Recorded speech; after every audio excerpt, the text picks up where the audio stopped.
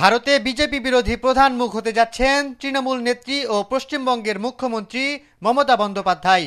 মমতা ও দেশের বিরোধী দলীয় কংগ্রেস নেতা রাহুল গান্ধী, আম আদমি পার্টির নেতা অরবিন্দ কেজরিওয়াল সহ বিরোধী দলীয় সব নেতাদের জনপ্রিয়তার আলোকে পেছনে ফেলে শীর্ষে উঠেছেন তিনি।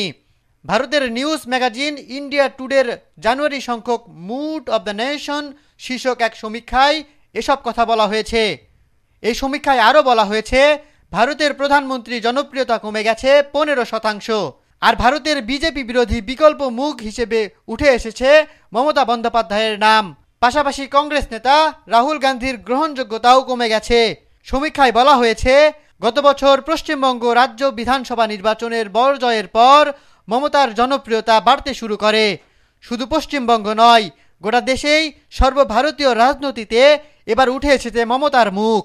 মোদির বিরুদ্ধে এখন লড়ার সবচেয়ে বেশি শক্তি রাখেন মমতা। সেই তুলনায় পিছনে চলে গেছে কংগ্রেস নেতা রাহুল গান্ধীর নাম। কারণ হিসেবে বলা হয়েছে, রাহুল গান্ধী বিজেপির বিরুদ্ধে লড়াই জোরদার করতে পারেননি। সেই তুলনায় মমতা রাহুলকে অনেকটা পিছনে ফেলে শীর্ষে উঠে এসেছেন। মমতা ইতিমধ্যে পশ্চিমবঙ্গ ছাড়িয়ে দেশের বিস্তার ঘটিয়েছেন ত্রিপুরা, গোয়া, উত্তরপ্রদেশ, মেঘালয় ও হরিয়ানা রাজ্যে। তাই এখন গোটা দেশ মমতাকে মোদির বিরুদ্ধে সবচেয়ে নির্ভরযোগ্য বিরোধী শক্তি হিসেবে মনে করছেন। তৃণমূলের পক্ষ থেকে ইতিমধ্যে মমতাকে মোদির বিকল্প মুখ হিসেবে তুলে ধরা হয়েছে। তাই মোদি বিরোধী জোট গঠনের জন্য মমতাও মাঠে নেমেছেন। বার্তা দিচ্ছেন মোদি বিরোধী জোট গঠনের। রাজনৈতিক মহলও এখন এমনটাই মনে করছে। মমতাই পারবেন মোদিকে রাজনৈতিক ময়দানে বেগ দিতে। ইতিমধ্যে মমতা দেশের রাজনৈতিক অঙ্গনে নিজের গ্রহণযোগ্যতার প্রমাণ দিয়েছে। তিনি এখন ভারতের রাজনৈতিক অঙ্গনে বিরোধী দলের প্রধান মুখ হিসেবে আবির্ভূত হয়েছেন। যদিও বিরোধী দলীয় মুখ হিসেবে এখন পর্যন্ত দিল্লির মুখ্যমন্ত্রী আম আদমি পার্টির অরবিন্দ কেজরিওয়াল কংগ্রেস নেতা রাহুল গান্ধীর ওপর খুব একটা আস্থা না রাখায় উঠে এসেছে মমতার নাম।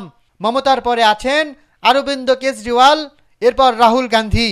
ইন্ডিয়া টুডের জানুয়ারি সংখ্যক মুড অব দ্য নেশন সমীক্ষায় এ চিত্র ফুটে উঠেছে। সমীক্ষায় যোগ দেওয়া সতেরো শতাংশ মানুষ বিরোধী দলের প্রধান মুখ হিসেবে দেখছেন মমতাকে।